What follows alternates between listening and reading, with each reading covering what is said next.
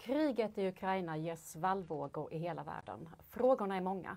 Därför har vi samlat tre forskare som ska göra sitt bästa att besvara era frågor inom tre följande områden. Propaganda och desinformation. Hur jobbar Ryssland och hur kan vi i väst göra för att upptäcka och mota detta? James Pement kommer svara på frågor om detta. Därefter handlar det om de många råvaror som vi eh, är beroende av från Ryssland och även Ukraina.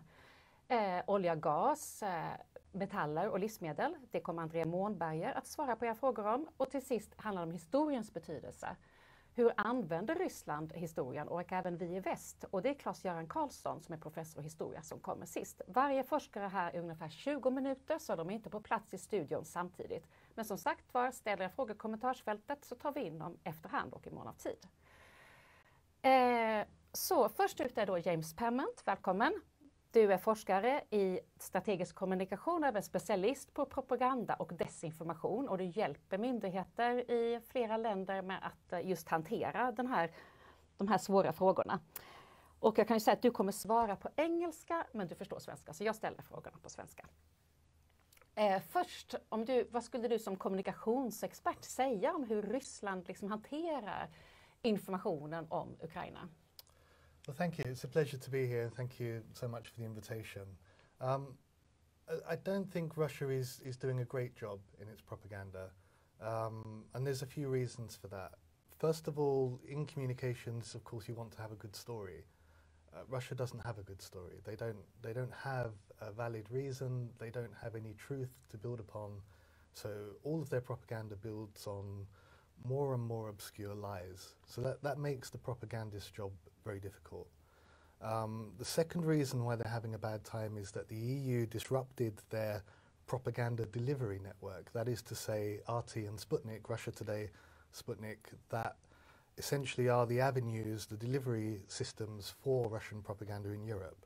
Um, they're not as popular in Sweden as they are in other parts of Europe, but certainly for a week or so there was significant disruption to Russian propaganda. Um, and thirdly, I think they're struggling because so much of their effort is being placed on Russia. They're having to do so much work in their domestic propaganda that they don't seem to have the resources and the uh, the bandwidth to really be able to to push the same propaganda um, in Europe as they've been doing previously.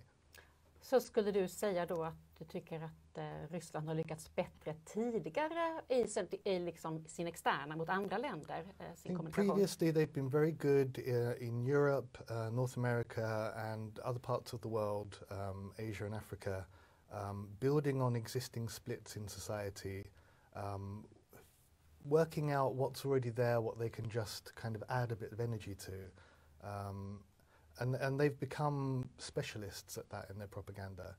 Um, this time, at the very beginning of the war at least, there was complete unity, particularly in Europe, mm. um, about how to respond, and they weren't able to, to find those gaps and exploit them.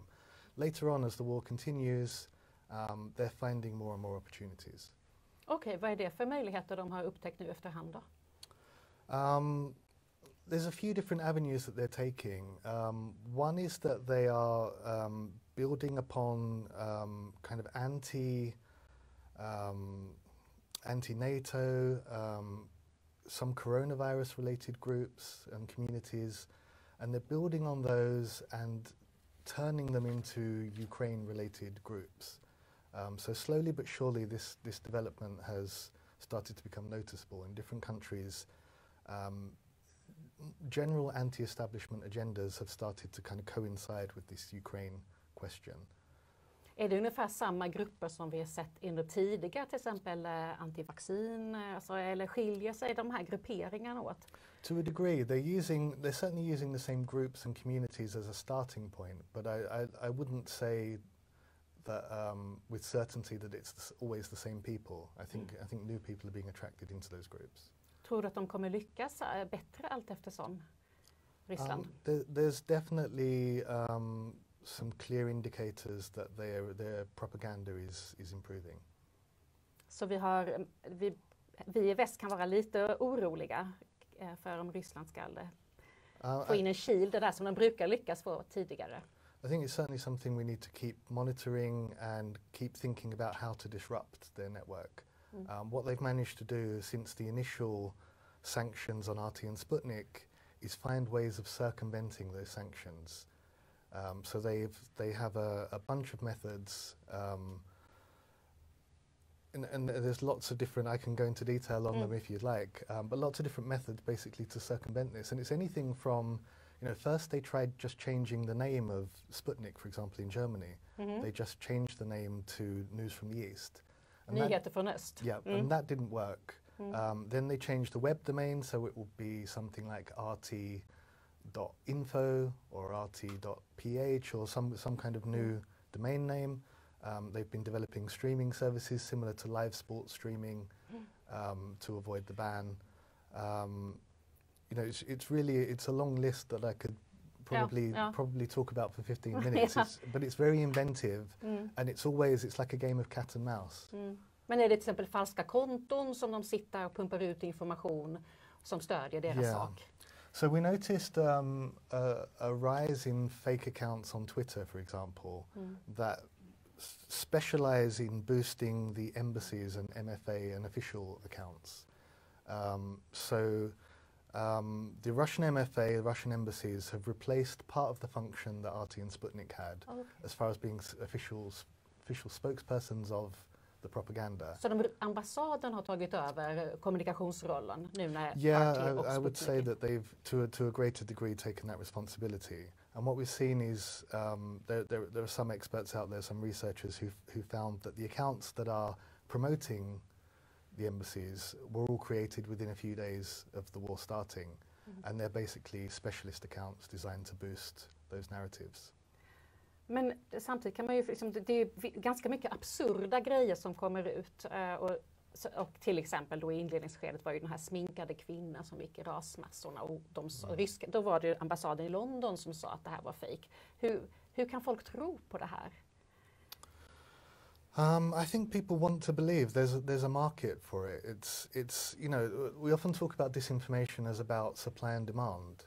As so what? supply and demand, mm. which means that it's it's a bit like drugs. The, the problem isn't just catching the dealers; it's also figuring out why people want it in the first place. What what social problems, what lack of trust in mm. government, um, what what grievances lead to people wanting to consume this kind of content. Mm. Så det är, i botten handlar om någon slags allmänt missnöje som eh, man får utlopp för på något sätt. I think a lot of it boils down to anti-establishment feeling, mm. Uh, mm. lack of trust in government.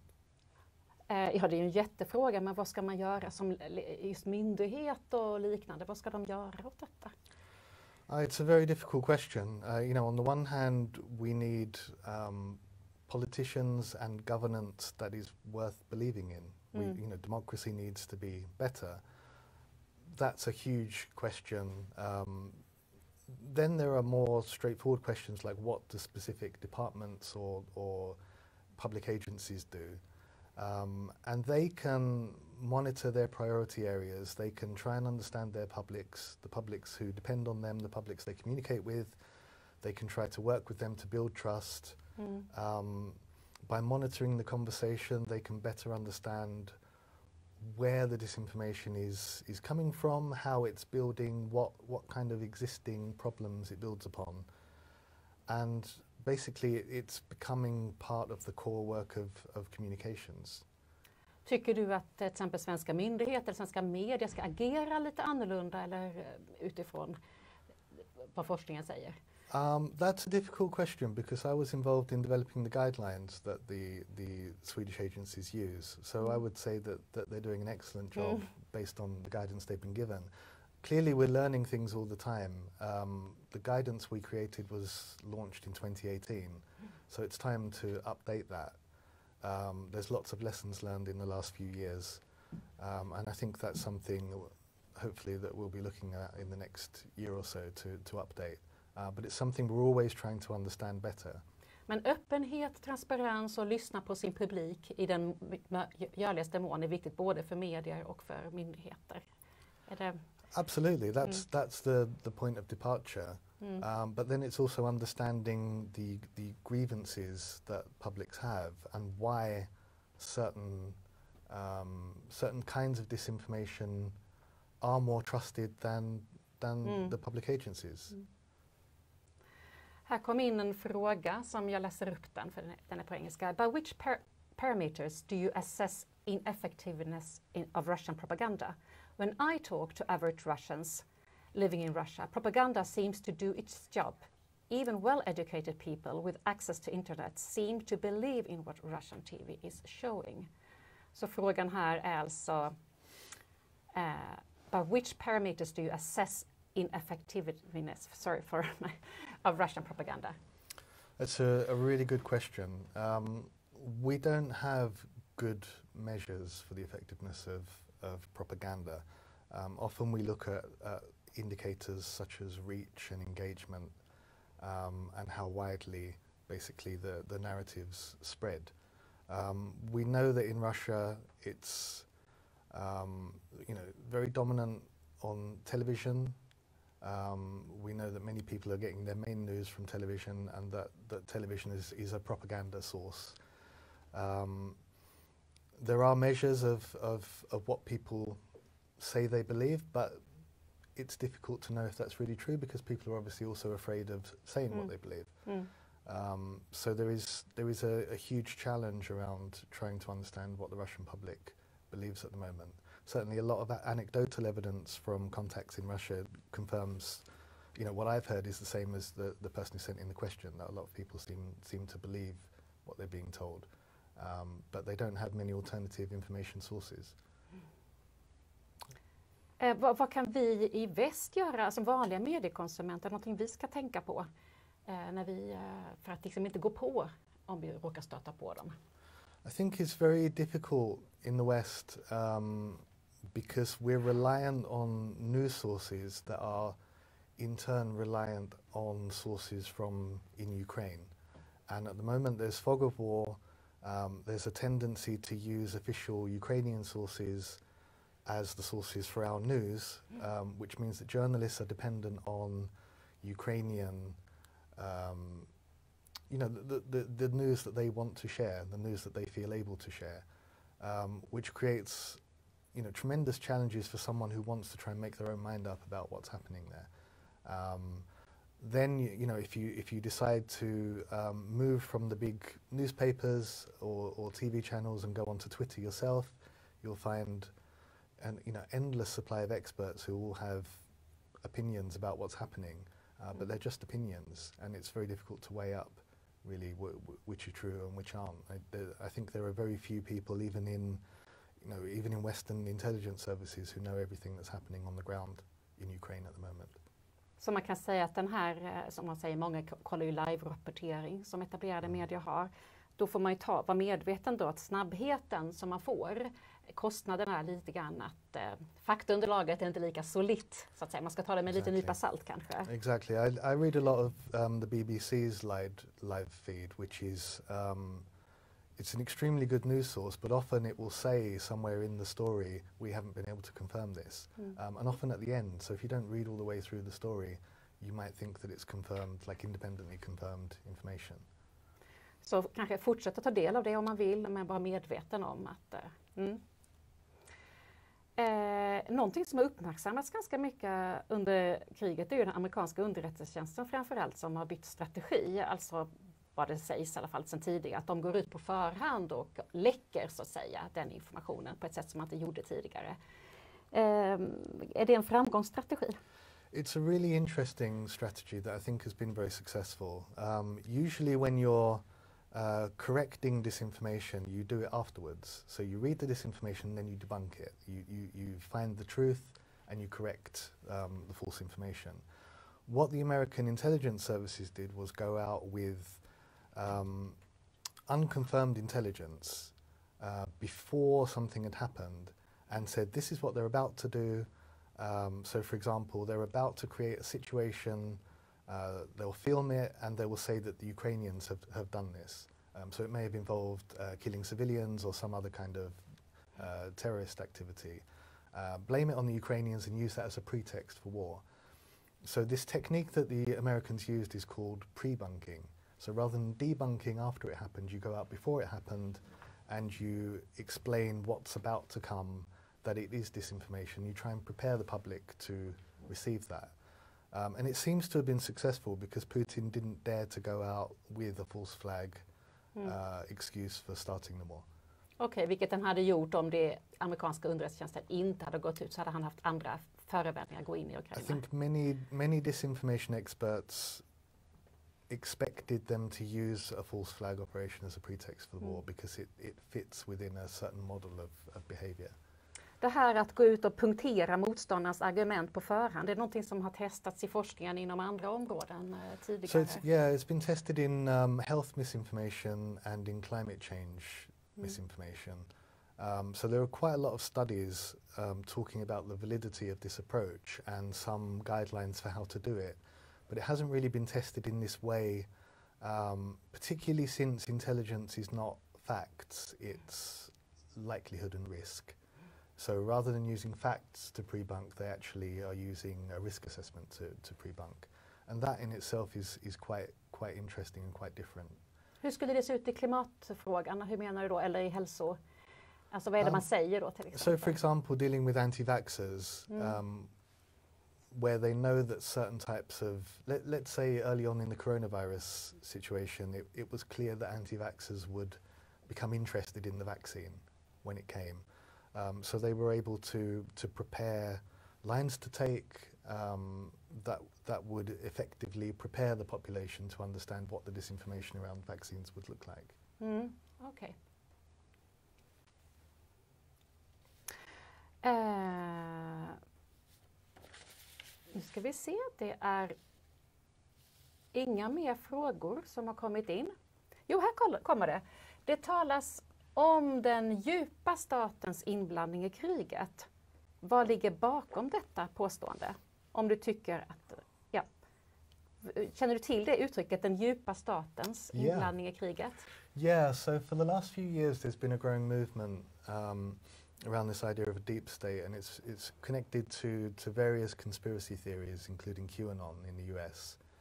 Um, and now almost everything that is anti-establishment, anything to do with NATO, um, anything to do with vaccines, you know, it often gets connected to this idea that there's a deep state, there's a group of people who are steering everything, who, uh, and it's their agenda that's that's somehow being fulfilled. Mm. Um, it's it's a classic conspiration conspiratory theory, um, and one that that has been connected to to the Ukraine war. Um, there have been other conspiracy theories connected to it as well, such as the biolabs Mm. conspiracy, um, which some sources, including Chinese state news, tried to connect to the origins of coronavirus. So to say, there are biolabs run by the deep state in Ukraine, um, and yet they were doing experiments there, and maybe those experiments are connected to the origins of coronavirus. So it's those kind of conspiracies um, that can be quite harmful, um, but really they, they're limited to quite a small group of people, I think. Mm. Um, the problem is something like QAnon obviously has, has developed into a huge movement in the US. Um, it is also a movement in, in Europe, but not to the same degree. There are variations on it, uh, but they haven't taken off to the same degree. Men du, det är alltså ett, eh, som du sa, ett uttryck för klassisk konspirationsteori. Det är en hemlig grupp som eh, styr liksom. Eh, Yeah, there have been plenty of these in the past as well. You know, Bill Gates, George Soros, Mm. uh, the, the, this kind of um, thinking. So um, connecting the, the war in Ukraine to this is is just it, it, it's quite lazy in a way, but it's also sort of typical of, of um, a disinformation agenda. mm. Eh, en sista fråga här. Eh, det har ju kommit upp den här frågan om censur, om eh, sociala plattformar som Twitter, Facebook ska ta bort inlägg som är fake news om kriget i Ukraina. Vad tycker du om det? It's a really difficult question. Um, on the one hand, you know, particularly in Sweden, in, in Nordic countries, we don't want to have censorship at all. It should be avoided, you know, unless there's no alternative. On the other hand, this is a war, and social media platforms are being used as part of the delivery system for Russian propaganda, Mm. and that propaganda can lead to real-world harms. Um, so it's it's a constant um, it's a case of constantly weighing up the risks and the, the, the potential harms to the public. Mm. Um, in this case, I think probably the platform should be doing more, Um, they aren't doing enough. Um, but we're also putting a lot of attention on Facebook and Twitter when in fact uh, Telegram, um, VKontakte and um, to a lesser degree TikTok are Mm. probably the platforms that where there's the most harm being caused by Russian propaganda. Okej, så TikTok är, eh, som ju är, eh, har andra ägare, där är det Yeah. Mm. Så att men Facebook och Twitter kan göra mer på grund av att det både är väldigt skadligt i förlängningen. Det som de falska nyheter. Det var allt vi hann med. Tack så jättemycket James för att du kom hit och häng kvar för snart kommer det handla om energisäkerhet och hur kriget eh, påverkar vår tillgång på viktiga råvaror som energi, mat och metaller bland annat. Vi kommer tillbaka strax.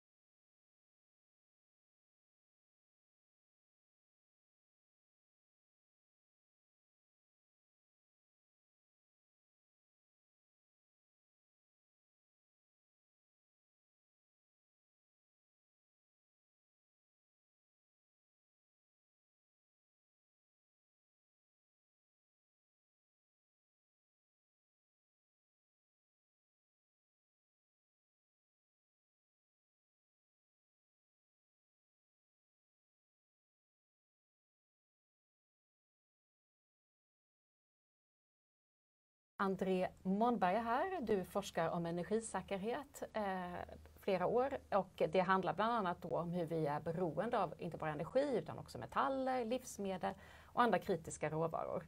Välkommen! Tack så mycket. Eh, först, eh, vad tror du om västvärldens chanser att göra sig oberoende av eh, Rysslands gas och olja? Ja, det beror på lite grann vad man tittar på tidsperspektivet skulle jag säga.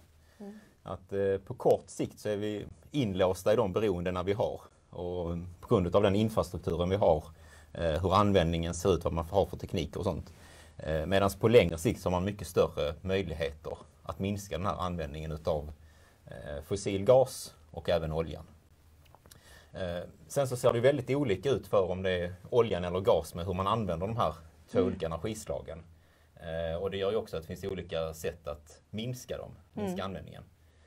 Ehm, så om, om vi börjar med gasen eh, så har en ganska stor användning där i industriändamål.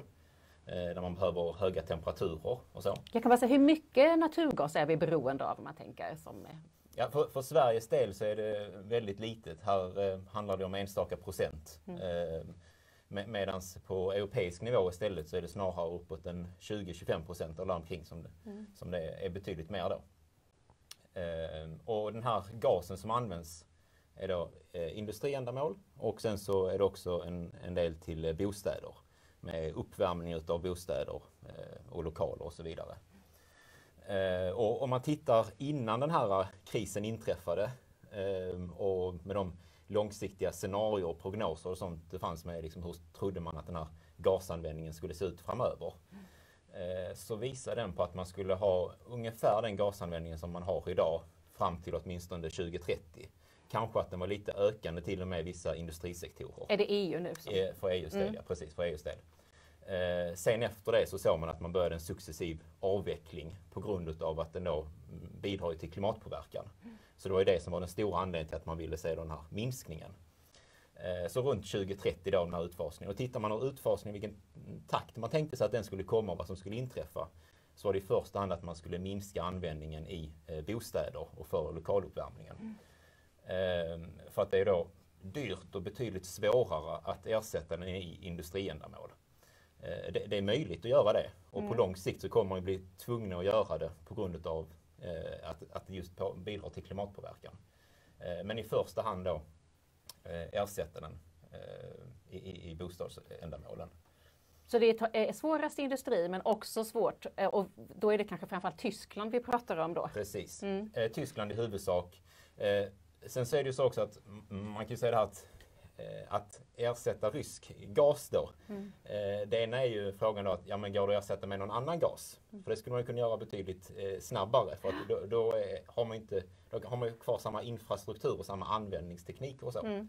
Så det handlar ju om att hitta någon annan som kan eh, Och det har man väl gasen. försökt eh, med eh, att importera flytande naturgas som man Precis, precis. Eh, och där är ju problemet då kan man säga att man har det här beroendet utav de här eh, pipelinen som går från eh, Ryssland till framförallt då eh, Tyskland och Italien.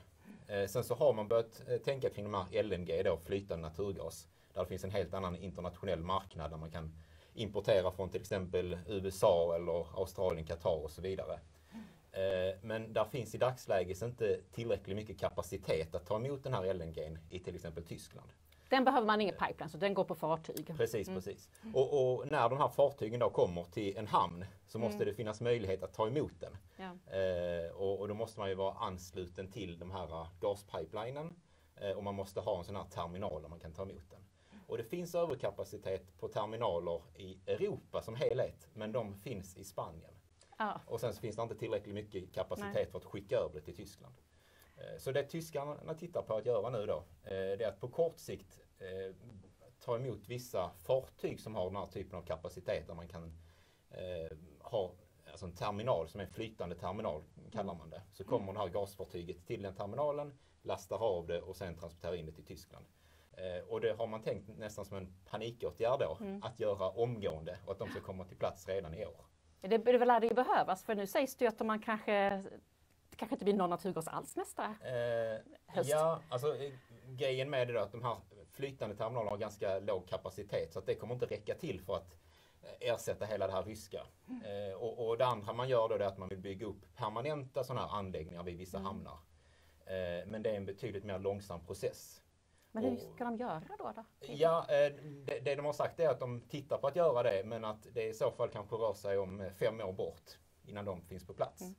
Så att det, är ju- det är där problemet finns, att man har den här inlåsningen på kort sikt och eh, även om man gör vissa av de här eh, snabba mm, åtgärderna och sånt här så har man fortfarande man har ett gasberoende och man har ett beroende för, för den här gasen från Tysklands sida. Eh, Och, och det man då kan göra för att, för att minska den det är ju till exempel att sänka temperaturen eh, vid, vid uppvärmningen. Eller om man kan ha mer smart styrning utav dem, man kan implementera det snabbare eh, och så.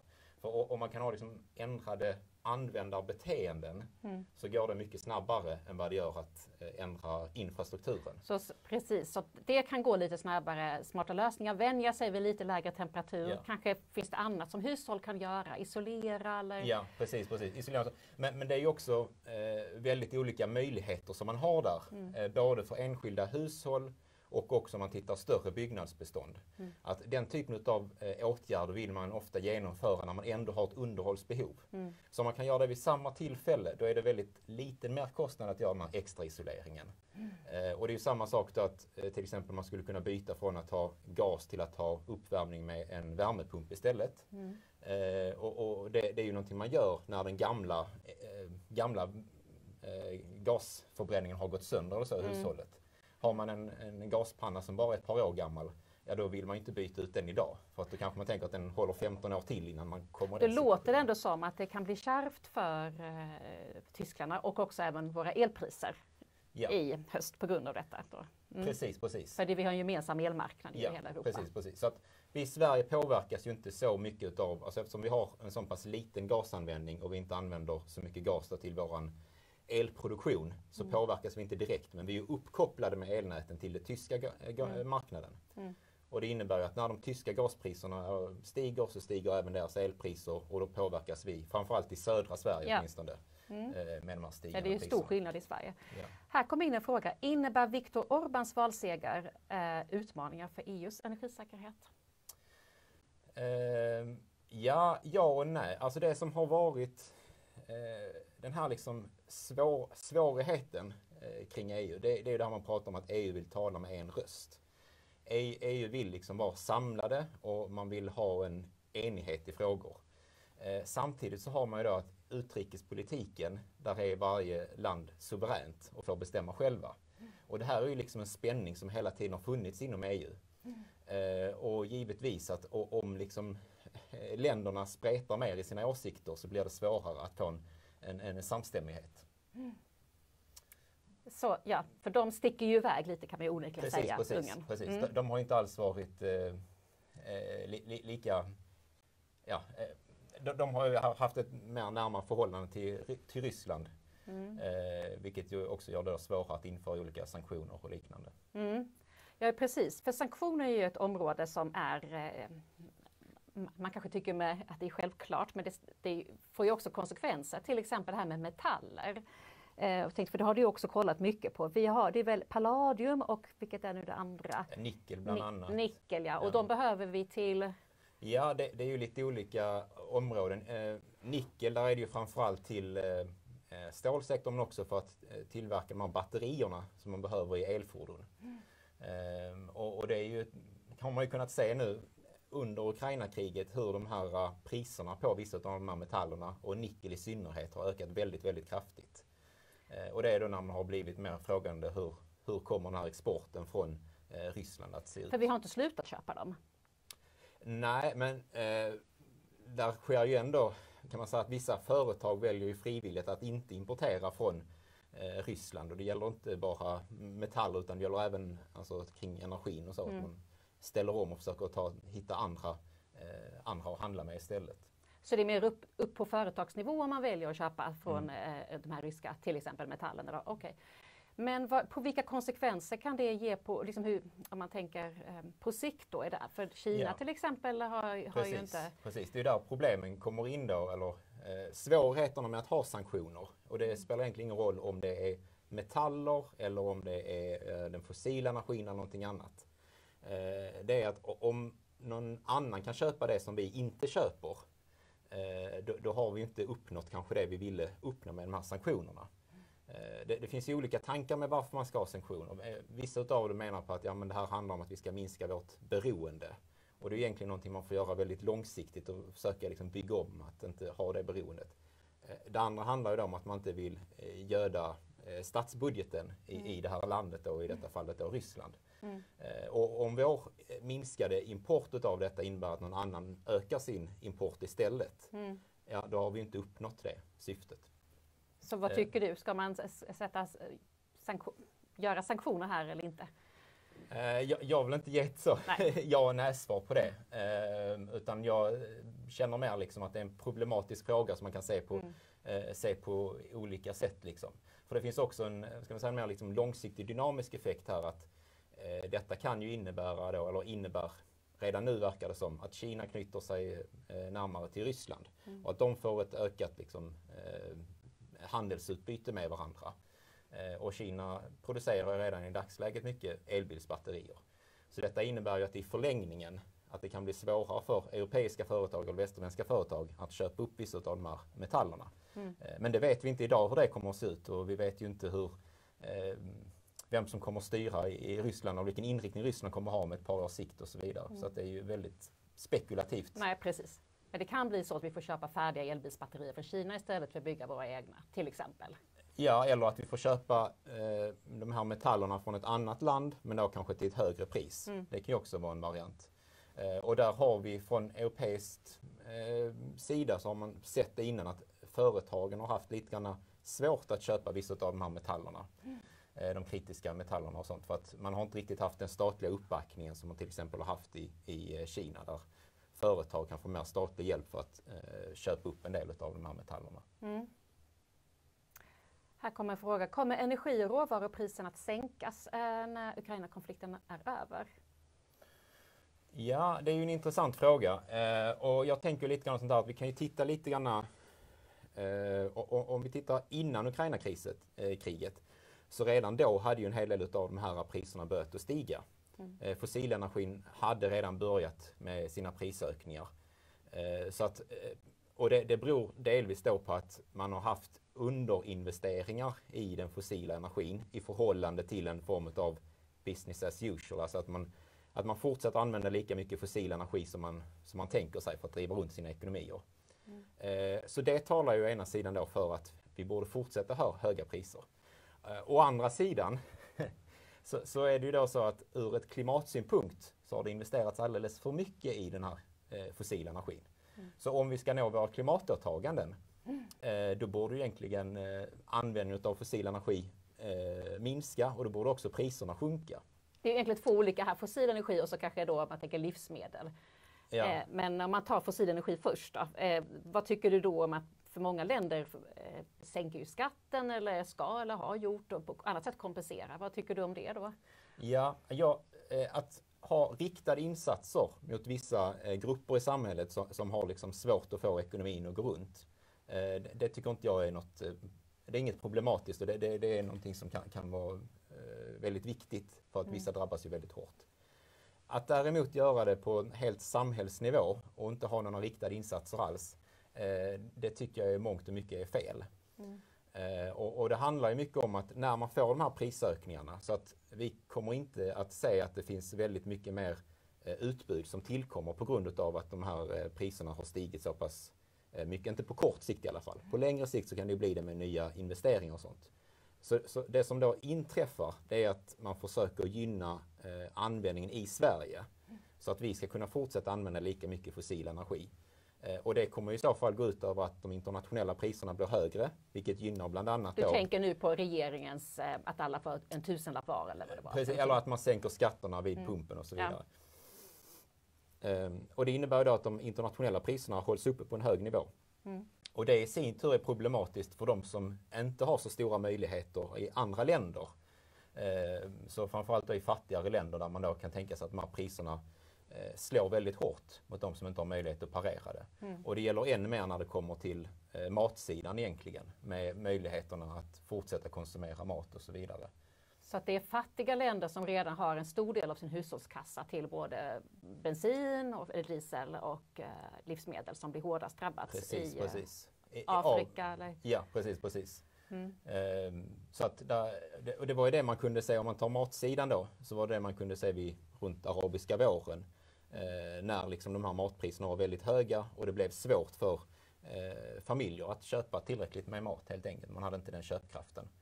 Och för eller för energin har man kunnat se vissa sådana tendenser också tidigare i forskningen att när man har de här stora eh, prisökningarna, höga priser, eh, så har det också lett till viss social instabilitet, att folk har eh, gjort olika former av ja, uppror eller liknande. Ja just det, det kom konsekvenser i ytterligare led då. Precis, precis. Mm.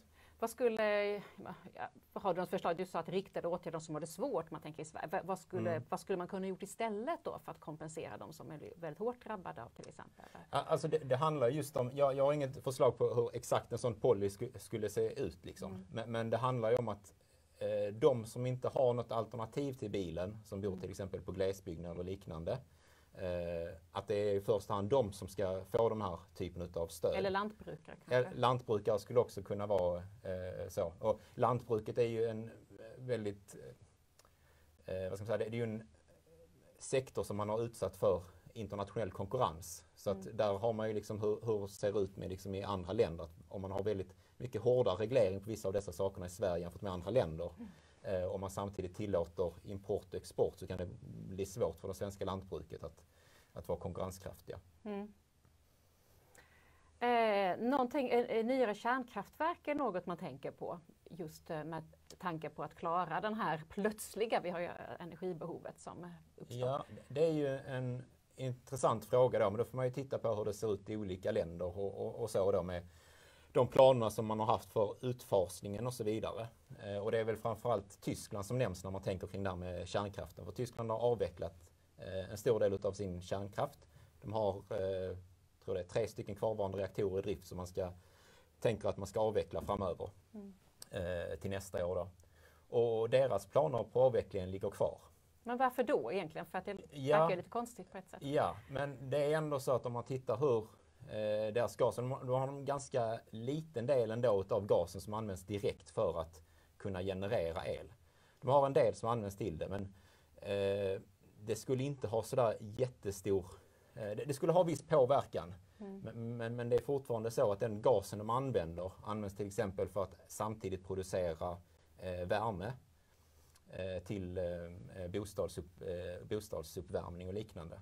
Så då kan man inte riktigt bara stänga ner den produktionen och istället starta upp ett kärnkraftverk för då hade man inte haft någon värme till men bostäderna. Men de, tre som tickar på tänkte jag, eller? Ja, det, det, det, skulle man kunna göra men samtidigt så har ju ägarna där har ju valt då att inte till exempel köpa in ny, eh, nytt bränsle till de här. Man har inte gjort, alltså så, så, att man har ju liksom en plan som ligger på att man ska fasa ut dem. Eh, men, men det är ju... Det är krisläge tänkte jag. Så att det... krisläge.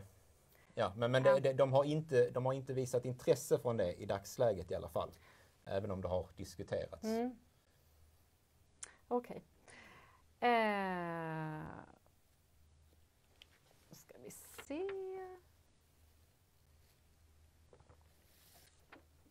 Men eh, det var de frågor som vi har med och det är ingen fler som har kommit in. Så vi avrundar där och tackar så jättemycket och häng kvar för att nu kommer sista eh, talaren snart, Claes, eller som ni har möjlighet att ställa frågor till, Claes-Göran Karlsson som svarar på historiens betydelse och hur vi både i väst och i Ryssland använder den av eh, olika syften. Vi ses snart.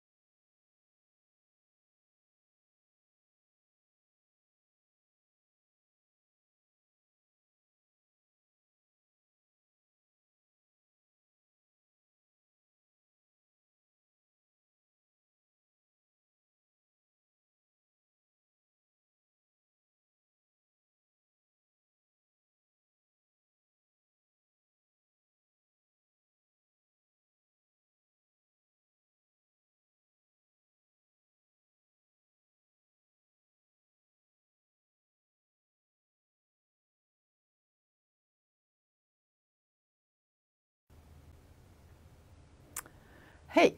Eh, vi sänder alltså då live från Lunds universitet och vi har tidigare haft med en forskare som är expert på propaganda och en som är expert på energisäkerhet. Och nu hälsar vi Claes-Göran Karlsson, professor i historia. Välkommen hit. Tack så mycket. Eh, du är expert på Rysslands historia men också på historiebruk, det vill säga eh, hur vi använder oss av historien för att förstå vår samtid mm. och hur historierna används i politiska syften. Eh, och eh, vi har förstått att västs historieskrivning och Rysslands skiljer sig åt på många ställen, eller på en del ställen i alla fall. Eh, och när det gäller kriget i Ukraina, vilka, är de, vilka avgörande händelser alltså som är avgörande för kriget går västs och Rysslands historieskrivning isär? Det är, det är väldigt stora skillnader, övergripande skillnader skulle man kunna säga. Alltså den ryska historieskrivningen har alltid varit, också under Sovjettiden men framförallt idag, väldigt hierarkisk, väldigt maktorienterad och man kan säga sammanfattningsvis att eh, från ryskt perspektiv så har det inte funnits någon ukrainsk historia utan Ukraina, som man ibland kallade Lillryssland, mm. var en integrerad del av det ryska, det ryska imperiet. Så det ukrainska har alltid funnits på på det ryskas villkor så att säga. Och det ser vi väldigt tydligt hos Putin idag när han börjar att identifiera det ryska redan på 800-900-talet och det ukrainska, ukrainska har han inte alls identifierat. Mm. Vi har en helt annan historieskrivning. Alltså vi studerar Ukraina som ett eh, fall bland många andra länder. Visserligen blev de ett land ganska sent. Men vi ser att Ukraina har liksom en egen historia. Det är en väldigt speciell historia på det sättet att det är en gränshistoria. Alltså Ukraina betyder landet vid kanten eller landet vid gränsen och vi har sett att det finns ett Ukraina som liksom oscillerar mellan det östliga och det västliga som ett, just ett gränsområde. Vissa delar har tillhört den östra maktsfären och framförallt Moskva. Medan det finns en annan del som har tillhört vad vi skulle kalla för Centraleuropa. Och det har funnits ett uh, universitet, Mohylaakademin i Kiev sedan 1600-talet som liksom har förmedlat idéer från väst till öst och från öst till väst. Det har funnits en speciell uniatisk kyrka, alltså en blandkyrka mellan ortodoxi och katolicism sedan samma tid ungefär. Mm. Så den ukrainska historien har hela tiden präglats av den här gränsbelägenheten och man kan säga att det är precis likadant idag. Även om Ukraina nog aldrig har varit så homogent som just nu och det är Putins förtjänst mm. kan man säga. För mm. det ukrainska det har liksom slutit sig samman mm. på ett sätt som vi nog inte har sett tidigare. Eh, man kan säga att historiesyn, det är till viss del ens världsbild, den världsbild man har. Eh, hur viktigt är det att man eh, jämkar ihop sina världsbilder och är det ens möjligt att göra det? Jag, jag håller med om att, att världsbilder är viktiga för historieskrivning. Jag är inte säker på att man ska jämka samman dem, men man ska väl vara medvetna om dem. Mm. Man ska vara medvetna om att det går att föra en diskussion om historiska frågor trots att man har olika världsbilder. Men vi brukar ju säga att den ryska eller den östkristna och den västkristna världsbilden ser ut på lite olika sätt. Mm. Alltså i Ryssland har man alltid sagt att det finns två historier. Det finns en god och en ond. Det finns ett paradis och ett helvete och ingenting däremellan. Och allting i historien rör sig mellan de här två polerna. Medan vi i västkristendomen har sagt att det finns visserligen ett paradis och ett helvete, men där är vi aldrig.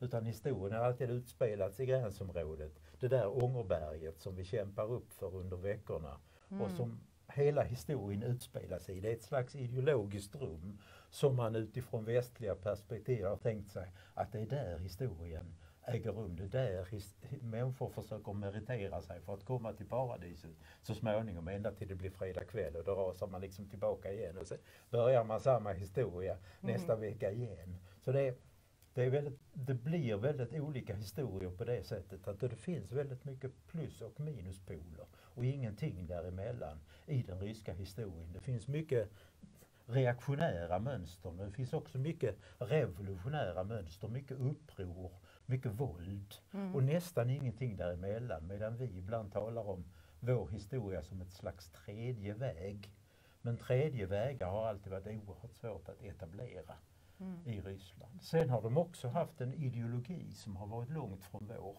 Alltså den liberaldemokratiska ideologin är egentligen ingen ideologi som befordrar någon sorts historiskt tänkande. Därför att vi tänker oss att verkligheten tar gestalt i nuet. Mm. Det är våra beslut idag som betyder någonting. Medan om man har en nationalistisk eller konservativ historiesyn, och det har man haft i Ryssland också under Sovjettiden, Mm. alltså då tillmäter man historien en väldigt mycket större kraft. Så därför har man alltid, liksom, när man har varit rysk politiker, använt sig av historien för att motivera sina beslut och få människorna med sig. Mm. Medan vi argumenterar på ett helt annat sätt. Mm.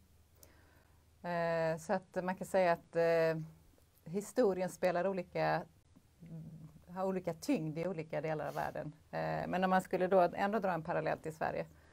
Eh, finns det något i vår historia som väcker väldigt starka känslor och eh, där vi har använt historien politiskt? Det har det såklart. Ja, det finns det ju naturligtvis, men ändå en viss skillnad. Men det är klart att det finns en historia som har betytt någonting i Sverige också. Jag menar, det är inte så länge sedan vi här i Lund slogs om Karl XIIs dödsdag den 30 november.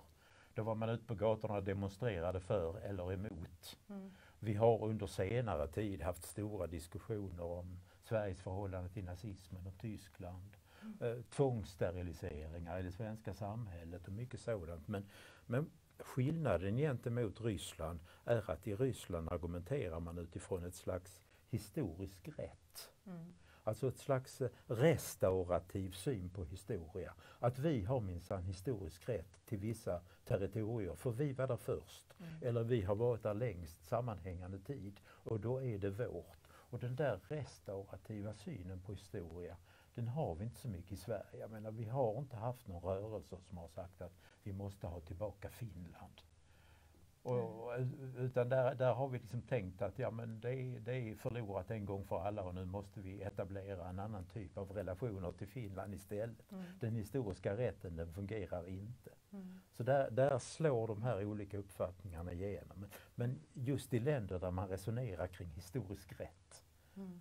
är det, är det ofta fara och färde. Alltså där minoriteter har hamnat utanför den egna staten och så säger den egna stora starka staten att vi vill ha tillbaka de där territorierna därför där finns många, till exempel ryssar.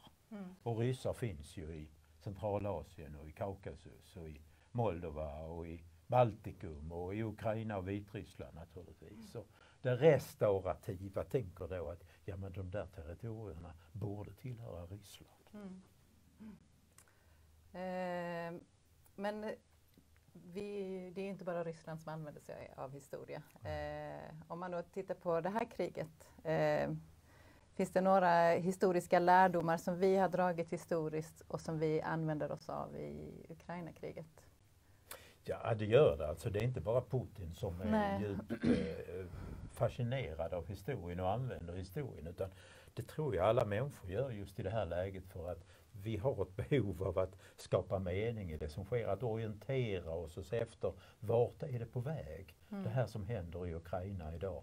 Och vi letar också rätt så desperat ibland i historien kan jag tycka. Mm. Efter sådant som liksom passar in och hjälper oss att förklara det. Mm. Eh, och ofta är det, nästan alltid när vi i väst letar i historien så letar vi i tiden från 1914 fram till 1945. Jag brukar kalla det ibland för det moderna 30-åriga kriget. Mm. Vi letar efter eh, Hitler hos Putin och tänker Mm. oss att han kommer att göra likadant som, som, eh, som eh, Hitler gjorde på sin tid. Alltså det finns ett, det finns ett Münchensyndrom Mm. som genomsyrar, skulle jag säga, mycket av den västerländska historien. Alltså, Alltså, Münchenöverenskommelsen. Precis, Mm. i slutet på september 1938 när Mm. Hitler och Mussolini träffade Chamberlain och Daladier och Hitler ville ha Sudet-Tjeckoslovakien, Mm. Sudet-Tyskland. Och fick det och lovade därmed att han inte skulle göra någonting mer. Mm. Och den där lärdomen, liksom att man ska inte lita på diktatorer med aggressiva CVn utan man måste stoppa dem i tid innan de går vidare. Mm. Det där har varit någonting som har varit oerhört populärt Mm. just nu. vi ska inte lita på att Putin bara vill ha östra Ukraina eller södra Ukraina. Utan han vill kanske ha stora delar av Ukraina och nästa gång vill han kanske ha Lettland eller Estland där det finns många ryssar. Mm. Och då blir det ett nytt världskrig därför att då måste NATO göra någonting. Mm. Ger man Så honom att- fingret så tar han hela handen. Ja, ungefär så. Alltså, i, I amerikansk utrikespolitik till exempel har det under hela efterkrigstiden, under kalla kriget, varit så betydelsefullt när man har resonerat i Vietnamkriget, Kubakrisen och på andra håll hur man skulle, hur man skulle stoppa ryssarna. Då har München-analogin kommit fram. Mm. Så den har varit oerhört framgångsrik och den har ju funnits med nu i den här diskussionen också. Mm. Finns det andra historiska lärdomar? Jag tänker på eh, nu med de hårda eh, sanktionerna mot Ryssland. Eh, tänker man lite på Versaillesfreden som ju var väldigt hård Jo. mot tyskarna och, och ledde till eh, andra världskriget. Jo, det är alldeles riktigt. Och, eh, Tyskland efter första världskriget var ju en besegrad stat men samtidigt en fungerande och, och, och, och livskraftig stat kan man ju säga. Som ju under mellankrigstiden liksom levde på det här med hämnden, det restaurativa. Att återställa världen före den orättvisa Versaillesfreden. Och det är ju många som har sagt att vi lever i ett slags eh, Versailles-ryskt läge idag när väldigt många i Ryssland är upprörda över att Sovjetunionen försvann. Och att man har blivit ett slags andra rangens stat istället för den stora starka stat som man egentligen borde ha varit. Och det restaurativa finns där också, det vill säga vi måste återställa läget, vi måste återställa Sovjetläget. Och ett första steg i det återställandet skulle då kunna vara att lägga beslag på Ukraina. Mm. Eh, nu ska vi se här. Eh, just det, eh, här har kommit in några frågor här. Eh, på vilket sätt skapas historiska narrativ av invasionen? Ja, det skapas olika narrativ på olika håll. Jag skulle säga att det västliga narrativet går tillbaka till Ryssland som ett stort imperium, Sovjetunionen som ett stort imperium. Och vi ser nu att man försöker återupprätta imperiet. Inte på Sovjetvis, inte på kommunistiskt vis, men på ett slags rysk-nationalistiskt vis. Så vi går nog tillbaka till den där historien där Ryssland successivt liksom har växt fram från en, en liten, liten stadsstat på 1500-talet till en sjättedel av jordens samlade landyta 350 år senare. Alltså en våldsam expansion. Och så försöker vi anpassa det till, till dagens situation. För, för Putin är det väldigt annorlunda. Han har ett slags eh, defensiv narrativ. Han säger att Ryssland har alltid råkat ut för angrepp utifrån. Först var det Karl XII, sen var det Napoleon, sen var det Hitler och alla har det gått illa för. Och nu är det Biden och NATO och EU som står och stampar alldeles i kanten. Och Ryssland kan inte göra annat än att som vanligt försvara sig och kommer att försvara sig framgångsrikt mot de här angreppen utifrån. Och det är klart att det här är ju narrativ som inte går att förena med varandra. Men det är väldigt starkt i det ryska fallet just det här att vi är offer för en yttre aggression och vi måste kunna försvara oss. Eh, Vi kommer att lyckas att försvara oss med just det här offerstatusen. Det är en sådan status som det går hem hos många ryssar. Det finns många ryska offerberättelser där, där eh, angriparna utifrån är då förövarna. Och det är ju så som Putin försöker berätta historien. Och han får ju påfallande stort stöd för den här berättelsen, hur grundfalsk den än är. Mm. Eh, här är en annan fråga. Ehm, efter Sovjetunionens fall, eh, varför misslyckades väst att närma sig Ryssland och varför lyckades inte väst att demokratisera Ryssland? Alltså med facit i hand, kan Ja. man säga det? Eller är det något som kunde gjorts bättre i den moderna historien? Jag är inte säker på att vi ska tala om ett misslyckande faktiskt. För att det fanns eh, goda ambitioner under Gorbatjov, den sene Gorbatjov och framförallt under 90-talet, alltså under Boris Jeltsins tid. Så fanns det ju en idé om att man skulle klara av att göra diktaturen till en demokrati och planhushållningen till en marknadshushållning och, och maktstaten till en rättsstat och eh, imperiet till, om inte en nationalstat, så i alla fall en federation där alla folk har lite olika makt. Men, men eh, jag är inte säker på att det gick fel på grund av västs missgrepp. Jag tror att en demokratiseringsprocess måste komma inifrån. Mm. Och den påbörjades oerhört väl under Gorbatjovs tid. Och den tidige Jeltsin fortsatte den där diskussionen. Och vi såg ett flerpartisystem, en, en, en demokrati. Men under den sene Jeltsin så började misslyckas igen. Och vi ser ju nu att demokratin finns ju bara på pappret. För hade Ryssland varit en, en fungerande demokrati idag så hade det här inte skett. Mm. Därför då hade Putin röstats bort eller på annat sätt manövrerats bort från, från makten. Så att eh, för demokratiska stater gör inte så som Ryssland gör idag. Mm. Eh, nej, eh, ska se här nästa fråga.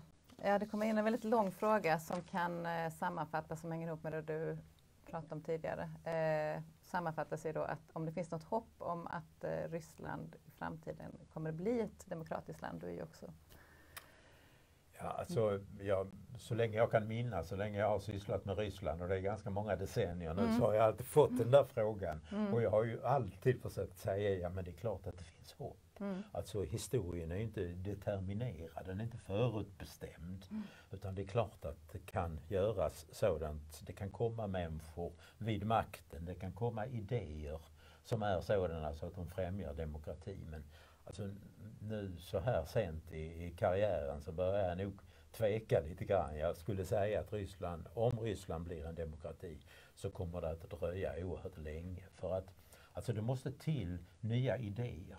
Mikhail Gorbatjov, när han kom till makten då i mitten på 80-talet, han lanserade liksom idéer som skulle kunna tänkas leda till åtminstone demokratisering. Men, eh, men idag som det ser ut så har ju Putin har inga konkurrenter, inga opponenter. Det finns inga alternativa idéer. I det ryska parlamentet sitter det bara partier som stödjer Putin i det han företar sig just nu. Och det finns inga demokratiska idéer så långt man kan skåda. De demokratiska idéerna i Ryssland idag, de, de sitter i fängelse. Och många mm. dog med när man sköt Boris Nemtsov, alltså det stora liberala hoppet på öppen gata i Moskva 1905, 2015. Mm. Eh, sedan dess har det knappast funnits någonting. Det fanns ett liberalt block fram till mitten av, av, av ja, ungefär 2010. Mm. Jablocka hette det. Men ingenting sådant finns idag. Så idag är jag väldigt, väldigt pessimistisk och tänker att det här är i så fall en process på väldigt långt håll. Och jag tror inte att man kan skapa demokrati utifrån. Utan det måste vara någonting som kommer inifrån och som får uppslutning underifrån. För det är ju liksom det som är själva idén mm. med demokrati. Mm. Mm. Eh, ska vi se här. Jag eh, tror inte det kommit in fler frågor. Eh, men jag har den här.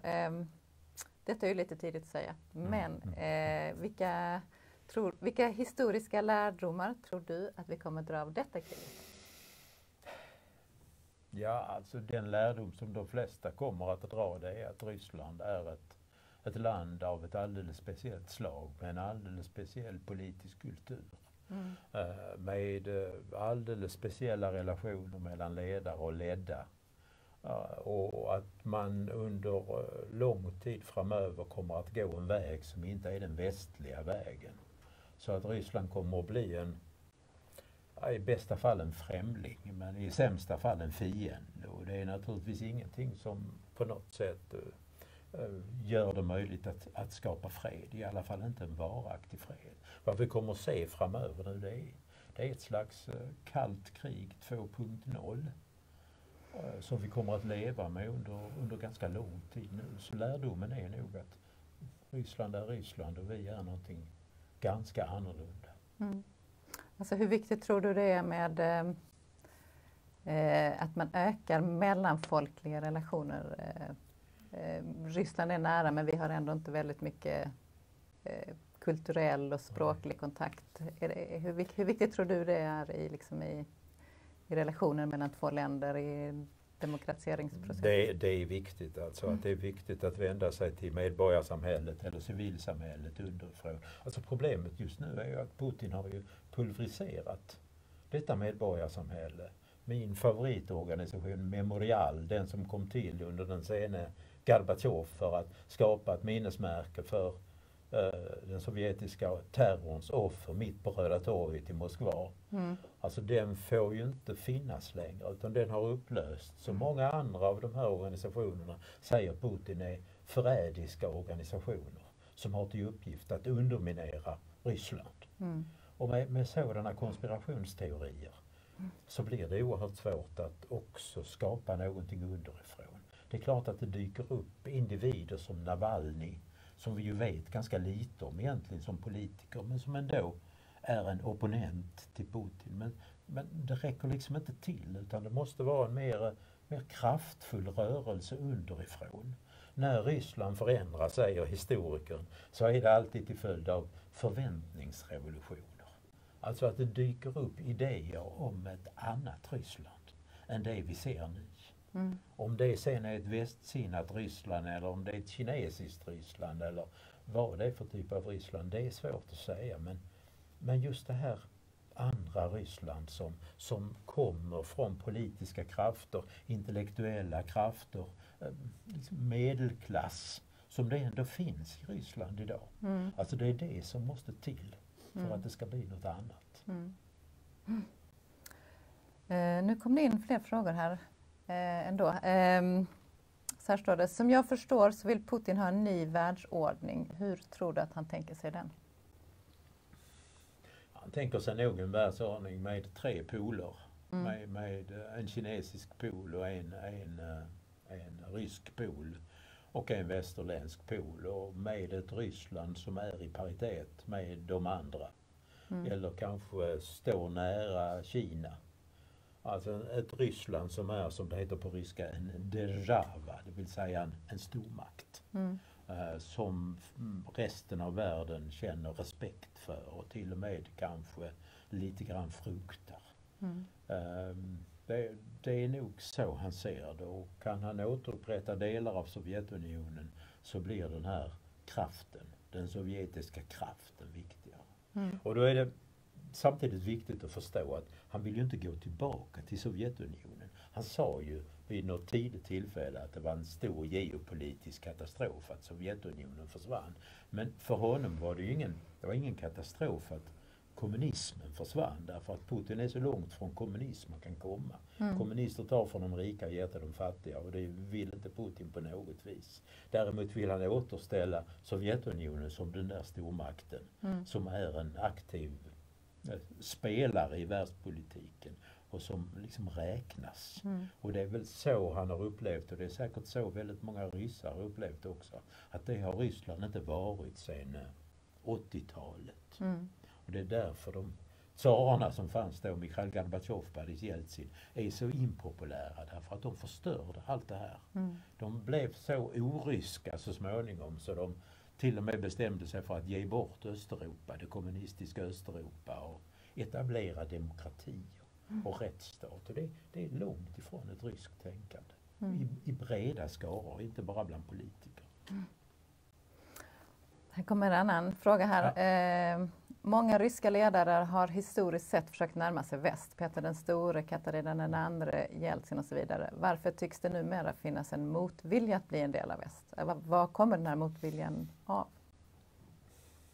Alltså, under den här perioden som jag talade om tidigare, alltså Gorbatjovs tid och, och, och Jeltsins tid, då närmade man ju sig väst. Alltså det Mm. finns en rörelse i den ryska historien som man brukar kalla för Zapadnik-rörelsen, alltså den västsinnade rörelsen.